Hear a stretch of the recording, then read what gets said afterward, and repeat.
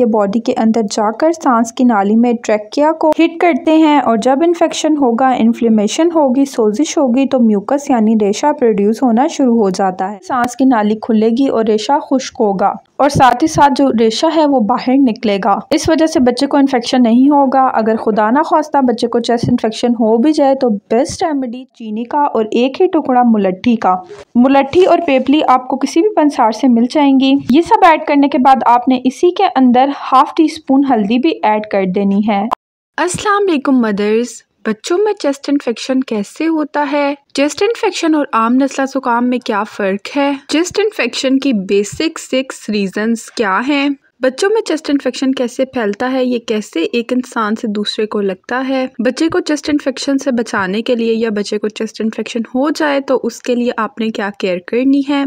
और chest infection से related top five best remedies हम आज की वीडियो में आपके साथ डिस्कस करेंगे। तो आप हमारी इस वीडियो को एंड तक देखें, हमारे चैनल मदर डायरी को सब्सक्राइब करें बेल आइकन को प्रेस करें वीडियो को लाइक एंड शेयर करें। तो चलिए स्टार्ट करते हैं।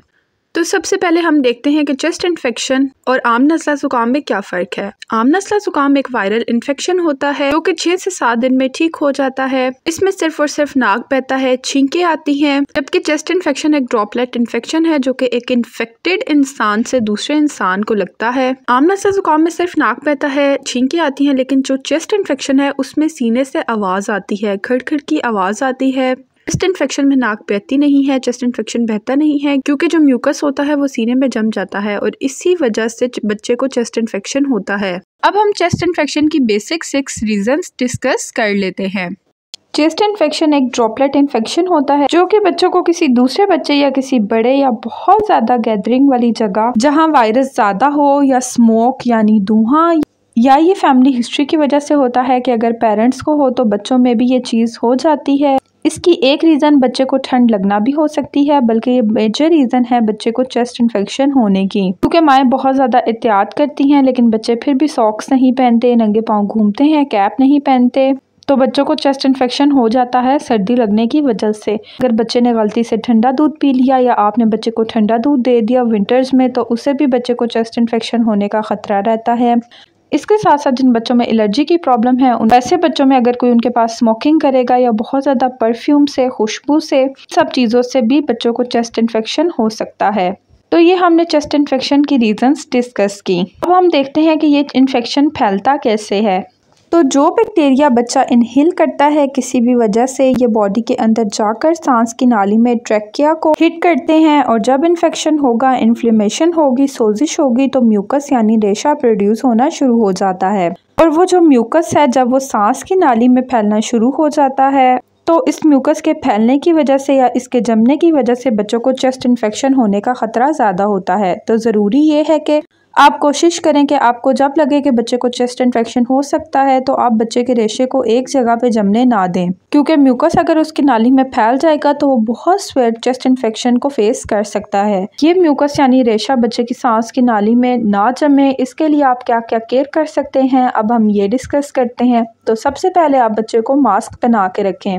या ऐसे बच्चों से या बड़ों से दूर रखें जिन्हें कफ हो या फ्लू हो या फिर वायरल इन्फेक्शन हो या उन्हें चेस्ट इन्फेक्शन की प्रॉब्लम हो। या जो लोग स्मोकिंग करते हैं तो आप उनसे बच्चों को दूर रखें। सेकेंडली आप बच्चे को डेली न्यूबलाइज करवाएँ, जिससे सांस की नाली खुलेगी और रेशा खुश्क होगा। और साथ ही साथ जो रेशा है, वो बाहर निकलेगा। इस वजह से बच्चे को इन्फेक्शन नहीं होगा। अगर खुदा ना खास्ता बच्चे को चेस्ट इन्फेक्शन हो भी जाए तो बेस्ट रेमेडी चेस्ट इन्फेक्शन में न्यूबलाइजर है। क्योंकि इस चीज़ का बच्चों पर कोई साइड इफ़ेक्ट नहीं है। अगर बच्चे को चेस्ट इन्फेक्शन हो जाता है तो आप उसे डेली दो टाइम न्यूबलाइज करवाएँ।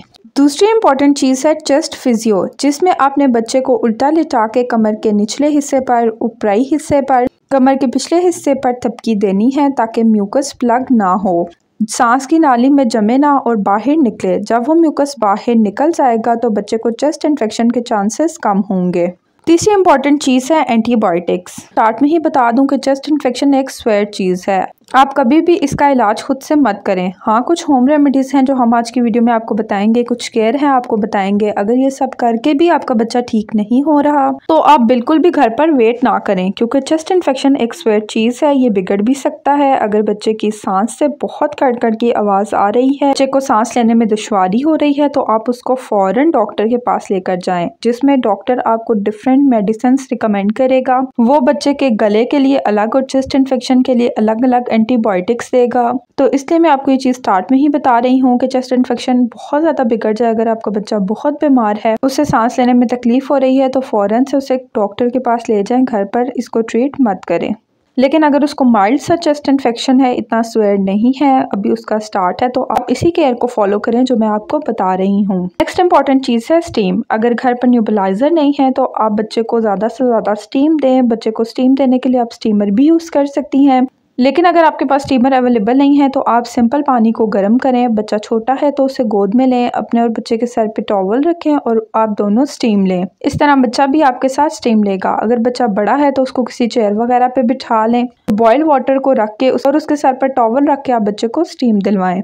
अगली इंपॉर्टेंट चीज़ है बच्चों की ड्रेसिंग ड्रेसिंग के बारे में बताने से पहले मैं आपको बच्चों की कॉटन वेस्ट के बारे में बताना चाहूँगी, जो हमारे पास अवेलेबल है. कॉटन वेस्ट का फ़ायदा ये है कि इससे आपको बच्चों को ज़्यादा लेयरिंग नहीं करवानी पड़ती. अगर आप ये एक या दो मंगवा लेंगी तो आपको बच्चों के लिए हाईनेक वगैरह लेने की ज़रूरत ही नहीं पड़ेगी। ये एक ऐसा प्रोडक्ट है जो कि रूई से बना है। ये बच्चों की छाती को गर्म रखता है और इससे बच्चों को चेस्ट इन्फेक्शन नहीं होता और वो मुख्तलिफ़ बीमारियों से भी बचे रहते हैं। तो विंटर में आप सबसे पहले बच्चे को नीचे एक कॉटन की लेयर पहनाएँ। कॉटन ब्रीथेबल होती है, जिन बच्चों को स्किन रैशेज का इशू होता है, उनकी स्किन डैमेज हो जाती है, उन्हें एलर्जी हो जाती है। उनके लिए बेस्ट यही है कि आप सबसे पहले उन्हें कॉटन की लेयर पहनाएँ। फिर ऊपर बच्चों को लेयरिंग में कपड़े पहनाएँ अगर आप लेयरिंग अवॉइड करवाना चाहती हैं तो आप हमसे वेस्ट भी मंगवा सकती हैं। मैं आपको यही टिप दूँगी कि आप कभी भी बच्चे को डायरेक्टली उसकी बॉडी पर वूल के कपड़े मत पहनाएँ, क्योंकि वूल की वजह से बच्चों के जिसम पर रैशेज भी हो सकते हैं तो इस चीज़ को अवॉइड करें। सर्दी के मौसम में बच्चे के सर को हमेशा लूज कैप से कवर रखें और सॉक्स और ग्लव्स पहना के रखें।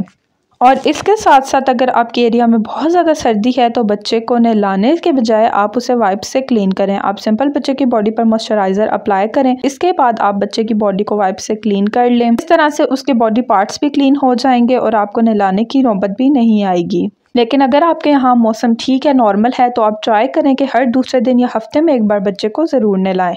रात को बच्चे को वार्म ब्लैंकेट दें। अगर आपके कमरे का टेम्परेचर सर्दी के हिसाब से बिल्कुल ठीक है वार्म है तो आप कोशिश करें कि आप बच्चे को लूज कैप पहनाएँ, उसकी सॉक्स वगैरह उतार दें और उसके ऊपर एक सॉफ्ट सा ब्लैंकेट दे दें। बच्चे के फेस को ब्लैंकेट से बहुत ज़्यादा कवर मत करें। अक्सर माएँ क्या करती हैं कि ये सोचती हैं, बच्चे को ठंड लग रही होगी तो वो उनका फेस भी कवर कर देती हैं, लेकिन आपने ऐसा नहीं करना, क्योंकि इससे बच्चों का दम घुटने का खतरा होता है। नेक्स्ट इंपॉर्टेंट चीज़ है रूम टेम्परेचर जो कि 20 से 25 डिग्री सेंटीग्रेड होना चाहिए। इसमें बच्चा बीमार भी नहीं होता। अगर वो नॉर्मल ड्रेसिंग में भी खेलता रहेगा तो वो बीमार नहीं पड़ेगा। टिप नंबर एट है ह्यूमिडिफायर कमरे में नमी रखें, इसलिए आप ह्यूमिडिफायर यूज़ करें। जब खुश्क सर्दी पड़ती है तो ड्राइनेस स्टार्ट हो जाती है। जिसमें सिर्फ़ स्किन ही ड्राई नहीं होती, बल्कि सांस की नाली में नोज़ में भी ड्राइनेस हो जाती है। तो अगर आपके पास ह्यूमिडिफायर है तो विंटर्स में उसको ज़रूर यूज़ करें और उसे ऑन रखें। टिप नंबर नाइन है गुड वेंटिलेशन अक्सर लोग ये गलती करते हैं कि सर्दी के मौसम में सब चीज़ें बंद कर देते हैं जैम पैक कर देते हैं। वो कोशिश करते हैं कि कहीं से भी हवा ना आए तो ऐसा बिल्कुल ना करें। कुछ ना कुछ वेंटिलेशन का सोर्स कमरे में ज़रूर रखें। ताकि कुछ फ्रेश एयर फ्रेश ऑक्सीजन आती रहे तो तो वेंटिलेशन कमरे में लाजमी रखें। थोड़ी थोड़ी हवा कमरे में आनी चाहिए। Tip number ten is personal hygiene अपने हाथों को सर्दी के मौसम में बार बार धोएँ, बच्चे के हाथ बार बार धुलवाएँ, अपने और बच्चे दोनों के नेल्स कट करें क्योंकि उनमें भी जर्म्स होते हैं। बच्चे जब बार बार मुँह में हाथ डालते हैं तो वो जर्म्स उनके अंदर जाकर चेस्ट इन्फेक्शन का सबब भी बन सकते हैं। अपने हाथ भी साफ़ रखें क्योंकि आप बच्चे का दूध बनाती हैं, उसका फ़ूड रेडी करती हैं, उसको उठाती हैं, प्यार करती हैं तो आपको चाहिए आप अपने हाथों को सैनिटाइज करें और बार बार अपने हाथ को धोती रहें ताकि आपसे बच्चे को जर्म्स ना लगे। इंपॉर्टेंट थिंग इज़ डाइट छः माह तक के बच्चों को मदर्स को चाहिए कि वो फ़ीड करवाएँ ब्रेस्ट फ़ीड करवाएँ। छः माह से ऊपर के बच्चों को आप सीरियल्स वगैरह जो देती हैं, वो दें सूप दें वेजिटेबल दें एग दें, यखनी दें। मौसमी फ्रूट ज़रूर खिलाएँ। इसके साथ साथ जिन बच्चों को चेस्ट इन्फेक्शन का ख़तरा होता है, जिन बच्चों को चेस्ट इन्फेक्शन हो जाता है, उन्हें दूध के साथ खजूर दें। ये चीज़ छोक से खाते हैं। आप उन्हें खजूर की स्मूथी बना के दे दें, उन्हें मिल्क शेक में दे दें या उन्हें हाथ में पकड़ा दें, लेकिन उन्हें खजूर और दूध ज़रूर दें। इसके साथ साथ मैं आपको यहाँ पर यह भी टिप दूँगी कि जब बच्चा बीमार होता है, उसको नज़ला ज़ुकाम या चेस्ट इन्फेक्शन हो जाता है तो वो अक्सर चिड़चिड़ा हो जाता है। वो खाना रिफ्यूज़ करता है, लेकिन आप उसे ज़बरदस्ती खिलाती रहती हैं। तो आपने बच्चे के साथ कभी भी ज़बरदस्ती नहीं करनी। जब उसका दिल करेगा, वो खा लेगा। एक बात का ख्याल रखना है कि आप बच्चे को खाना बार बार ऑफ़र करती रहें। जब उसका दिल करेगा तो वो खुद से खा लेगा। नेक्स्ट इंपॉर्टेंट टिप है फ्लू वैक्सीन। छः माह से ऊपर के बच्चों को अगर बार बार फ्लू हो रहा है तो उन्हें फ्लू वैक्सीन लाजमी लगवाएँ ताकि वो फ्लू और सर्दी से बच सकें। अब हम बात करते हैं चेस्ट इन्फेक्शन से related most important five home remedies की, जिससे बच्चे का चेस्ट इन्फेक्शन फौरी ठीक हो जाएगा। रेमेडी नंबर वन इस रेमेडी को बनाने के लिए आपको चाहिए दो ग्लास पानी, जो कि आपने फ्लेम ऑन करके पैन में ऐड कर लेना है।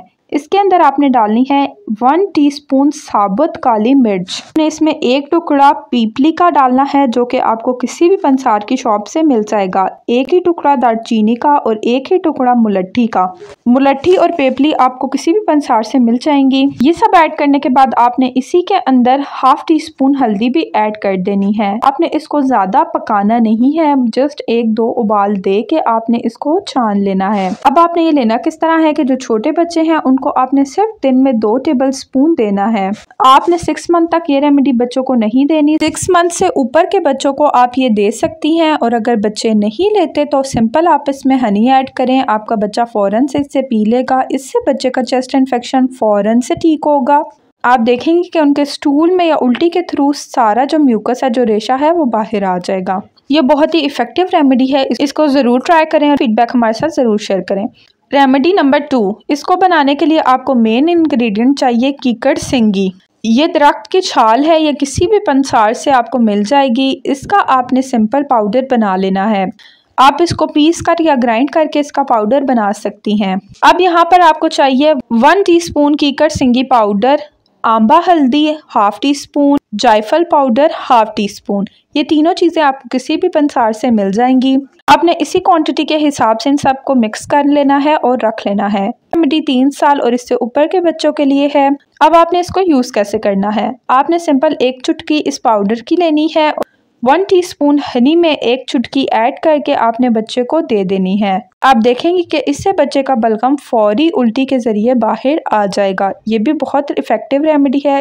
इसका भी फीडबैक हमारे साथ कमेंट बॉक्स में ज़रूर शेयर करें। रेमेडी नंबर थ्री इसके लिए आपको चाहिए सरसों का तेल एक प्याली, लहसन तीन चवे अजवाइन, आधी चम्मच। अब आपने लहसन को छील के रख लें। आपने सबसे पहले पैन में तेल डालना है और इसको गर्म कर लेना है। अब आपने इसमें लहसन ऐड करके अजवाइन भी डाल देनी है।